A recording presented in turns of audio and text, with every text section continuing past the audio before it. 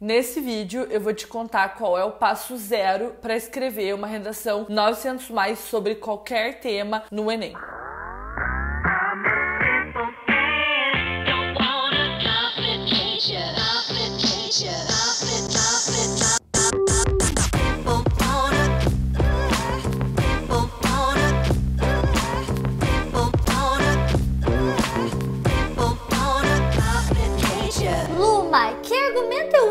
Esse tema? Luma, eu não consigo encaixar os modelos de redação nesse tema. Luma, eu não consigo ter argumento para esse tema. A maioria dos problemas, como esse, de travar na folha em branco e não saber o que fazer, mesmo tendo argumentos, alusões, modelos coringas, acontece porque você não deu o passo zero. Entender qual é o problema. Tudo parte disso. O Enem sempre cobra um problema. E a gente tá falando exclusivamente do Enem aqui, tá? Vamos substituir a palavra tema por problema a partir de agora para facilitar. Então, se você não entendeu qual é o problema, tudo desmorona. Ou você trava, ou você faz merda no que escreve. Você não tem como escolher bons argumentos, boas alusões, uma boa intervenção. Tudo parte do entendimento do problema. Essa é uma mensagem que eu recebi de uma aluna minha. Chorei ontem mesmo porque tô com um tema difícil e não tá saindo nada. E aí ela me falou que o tema é as alterações no padrão de consumo e nas redes sociais através dos influencers digitais. O que essa minha aluna estava buscando são argumentos e alusões para um tema cujo problema ela ainda não havia entendido. Então o que eu perguntei para ela foi: qual é o problema? E aí ela não sabia me responder. À medida que ela foi lendo os textos motivadores e buscando entender qual é o problema,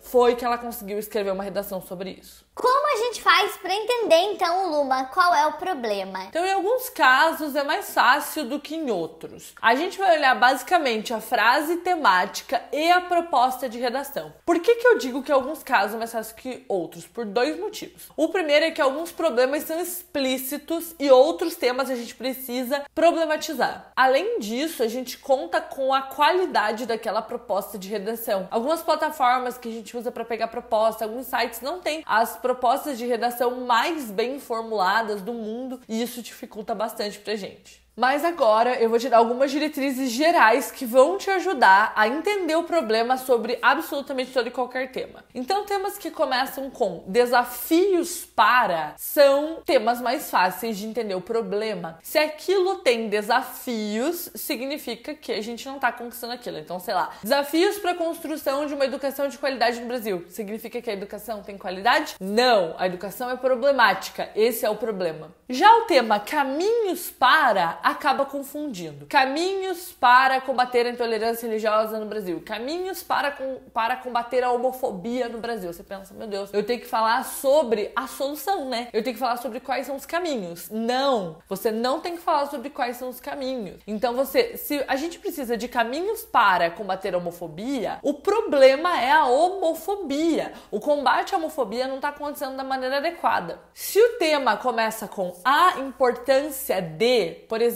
a minha aluna mandou para mim: "Fada, me tira uma dúvida. Tô com um tema de redação para fazer sobre a importância da memória para construção da identidade e não tô conseguindo encontrar o problema nele. O que eu faço?" Se a gente fala, se o tema é a importância da memória para construção identitária, significa que a memória não está sendo valorizada, ou seja, a gente está dando uma não importância. Se a importância do esporte para a sociedade brasileira significa que a sociedade brasileira não está entendendo a importância do esporte. Então, sempre que tiver a palavra importância, significa que aquilo é um problema e que a gente não tá dando importância para aquilo. O que eu falei para ela nesse caso foi que a memória, ela é importante para a construção da nossa identidade e a gente desvaloriza enquanto sociedade o papel do passado. Então, no Brasil, a gente tende a apagar o nosso passado e desvalorizar. Por exemplo, a influência indígena que a gente tem, é, então, muito antes da colonização acontecer, o Brasil já tinha a sua população e a gente é descendente em algum nível dessa população indígena brasileira. Então a gente desvaloriza isso. Tem a ver também com o investimento em patrimônio histórico, como é o caso dos museus ou ainda do Museu Nacional que pegou fogo. Então a gente no Brasil não tem uma cultura de valorização do passado. E tem alguns temas que já começam direto com o tema, por exemplo, do ano passado, a democratização do acesso ao cinema no Brasil. Qual é o problema nesse tema? É a democratização? Não, é a não democratização O cinema não está democratizado, ou seja, é a falta de democratização. Mas a gente não tem a palavra falta no tema. Como que a gente faz então se a gente não tem a palavra falta no tema, a palavra o problema da democratização, o problema do acesso ao cinema no Brasil? Lembre-se, a proposta de redação não é só aquela frase temática, é toda a coletânea de textos motivadores também. Eu perguntei no Instagram qual foi o tema de redação que mais te apavorou até hoje, que te fez travar, e agora eu vou ler algumas respostas. EAD, educação à distância. Se caiu algum tema sobre EAD, significa que a EAD é um problema. Pode ser que aquela proposta eu já falando que a EAD é um problema por si só, mas eu duvido. Eu acredito que vai ser assim, ó. A EAD, da forma como ela está implementada hoje, ela é um problema. E aí você vai, vai para as causas. Uma vez que você entendeu, ok, a gente não tem um meio que facilita uma educação à distância de qualidade. Por quê? Falta recurso em infraestrutura, né? 30% da população brasileira não tem acesso à internet. Falta investimento na formação dos profissionais, falta responsabilidade governamental. A EAD muitas vezes fica nas mãos de empresas e a educação pública sucateada, seja à distância, seja presencialmente. A gente tem um problema de lenta mudança da mentalidade social, porque as pessoas têm resistência a estudar online, elas afirmam que presencialmente elas aprendem melhor, sendo que nem sempre é esse o caso. Então a EAD, como ela está implementada no Brasil hoje, ela é problemática. Ela está no começo, ela é um comecinho de um processo, tem muitos problemas ainda. Mas eu só posso partir para as raízes do problema, para as causas, se eu entendo qual é o problema da EAD. Agora, se eu ler a proposta e penso, cara, educação à distância é uma coisa boa, então sobre o que, eu vou escrever? Por exemplo, se cai a importância da EAD sim, vou argumentar que não, você precisa problematizar de que forma a gente não tá vendo a importância da EAD. Os efeitos das atividades físicas na saúde dos jovens brasileiros. Lembrando que eu tô lendo só o tema, eu teria que ler a proposta de redação inteira para dizer isso com certeza, mas acredito que eu já posso ajudar. Os efeitos das atividades físicas na saúde dos jovens brasileiros. Qual que é o problema aqui? Sedentarismo. Sedentarismo é o problema. A gente não ver os efeitos positivos do, da atividade física, a gente não presencia isso dos jovens brasileiros. Caminhos para estimular a solidariedade no Brasil. Qual que é o problema? Não temos solidariedade no Brasil. A importância da língua inglesa no mercado de trabalho. Qual é o problema? Não temos uma sociedade bilíngue, fluente em inglês. A educação de língua inglesa, eu sei porque eu, eu sou professora de inglês, já dei aula na escola pública, ela é deficitária. A presença de militares em cargos públicos é uma ameaça à democracia? O Enem não cobra perguntas, tá? Mas se isso caísse no Enem, a resposta é sim, porque o Enem sempre cobra um problema. Se eu responder que não, eu não tenho um problema. Então, sim, a presença dos militares em cargos públicos é uma ameaça à democracia. O jeitinho brasileiro, para entender esse problema, na proposta de redação, provavelmente está explicando o que é o jeitinho brasileiro, que é um conceito da filosofia que define a postura malandra e corrupta corrupta do povo brasileiro. Então, jeitinho brasileiro não é sinônimo de um jeito pequenininho brasileiro. É, jeitinho brasileiro é uma, uma expressão filosófica. As profissões do futuro e seus desafios. Provavelmente esse tema está falando que nós não estamos preparados para as profissões do futuro, senão não teríamos desafios. Então a gente tem uma educação muito mecânica para o mercado de trabalho que vai demandar cada vez mais criatividade. Senso de coletividade em tempos de pandemia. Não temos senso de coletividade. Falta falta senso de coletividade. Esse é o problema. Todos que começam com impactos ou consequências. Impactos, se a gente tem impactos ou consequências, naturalmente a gente já tem uma coisa ruim. Nada que é bom vai ter impactos ou consequências, sabe? Impactos até é usado para coisas boas também, mas consequências é muito difícil. Caminhos para aumentar o trabalho voluntário na sociedade brasileira. Significa que o trabalho voluntário não acontece da forma com a quantidade de pessoas que ele deveria acontecer. Câmeras de vigilância em salas sala de aula, segurança ou invasão de privacidade? Se isso é um tema de redação do Enem, a resposta é invasão de privacidade. Se isso é um tema de qualquer outra universidade, eu não posso te dizer porque minha especialidade é redação do Enem. Serviços de transporte por aplicativos como alternativa para a mobilidade urbana. Esse tema também não é a cara do Enem, o Enem não dá uma solução já no tema, mas se esse fosse o tema, o problema é não temos mobilidade urbana, as cidades estão aí paradas, as pessoas gastam horas no trânsito. E no caso, os serviços de transporte por, de transporte por aplicativos não resolvem a mobilidade urbana. Porque para resolver a mobilidade urbana eu preciso investir em transporte público. Eu preciso de automóveis que consigam carregar mais pessoas dentro. A questão da pena de morte em pleno século 21. Ele é polêmico, fada? Sim, Calil, é o tipo de tema que o Enem não cobra, porque é um tema que você vai se posicionar a favor ou contra da pena de morte. E o Enem cobra sempre problemas. Em que medida o conhecimento técnico-científico segue os princípios éticos morais? significa que o conhecimento técnico-científico não segue, não é ético, não é moral. A importância literária na construção da cidadania significa que a gente não está dando importância. Então, o problema é a falta de importância que a sociedade dá para a literatura. Consciência coletiva frente à civilidade contemporânea no Brasil. É, não temos consci... a consciência coletiva que constrói a civilidade no Brasil. Esse é o problema. As mudanças no mercado de trabalho em um mundo globalizado.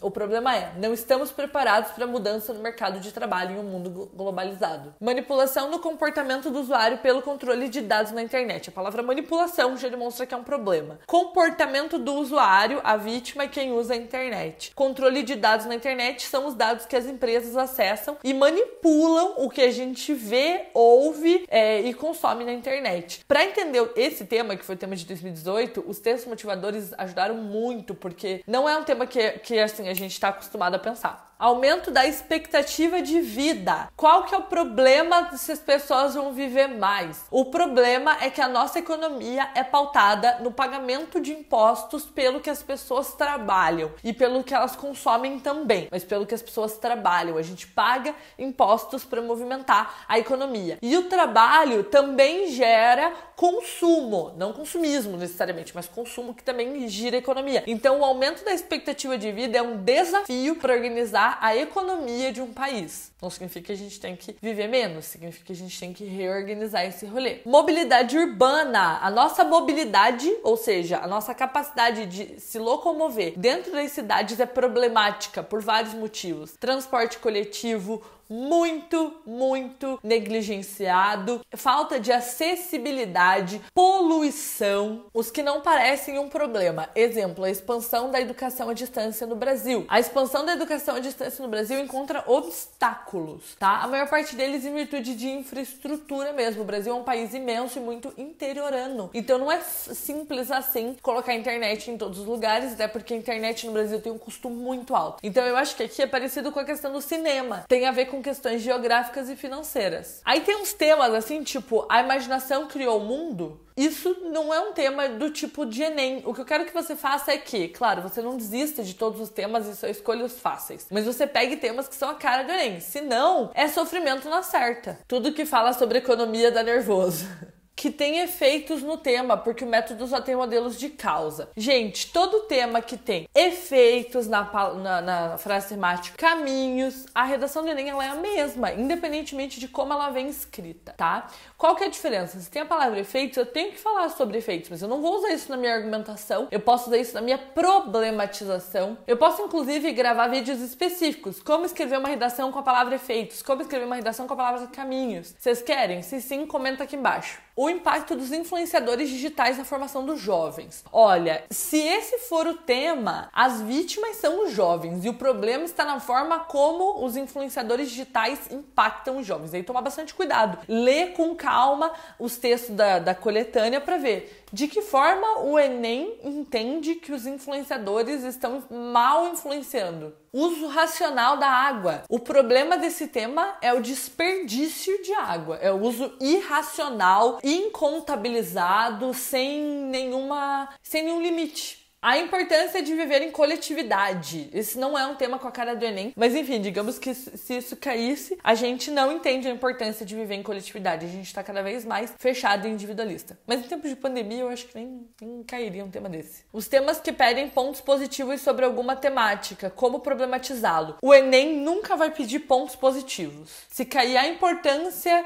da leitura, é para você falar que a gente não tá dando importância para leitura, não é para você falar sobre os pontos positivos da leitura. Temas que eu não acho grandes problemas, mesmo sabendo que não sou eu quem devo julgar isso. Guga, é, o que você deve fazer é ler a coletânea de textos, porque às vezes quando a gente lê o tema a gente pensa, putz, influenciadores digitais no padrão de consumo dos jovens. Que? Mas aí quando você ler as propostas, você percebe quais são as causas que levaram o INEP a escolher esse tema como tema. Doação de sangue e órgãos. A doação de sangue de órgãos no Brasil ela é escassa. A gente não tem muitos casos de doadores de sangue é em vida e a gente não costuma ser empático a ponto de sair da nossa vidinha e ir lá doar sangue do nada. E doação de órgãos ela acontece no momento do luto e muitas famílias optam por não doar. Universalização do saneamento básico no Brasil. Gente, eu sei que não parece, mas no Brasil nem todo mundo tem saneamento básico. É, em um vídeo da Juju, ela contou, ela fez uma pesquisa e ela contou pra gente que quase 50% da população do Brasil não tinha saneamento básico como deveria. Então não tinha água tratada, encanamento e tudo mais. E isso é um problema. Então o problema é as pessoas não terem acesso a saneamento, é, água tratada, encanamento. Não ter, não ser todo mundo no Brasil que tem acesso a isso. Banalização de transtorno de TDAH. TDAH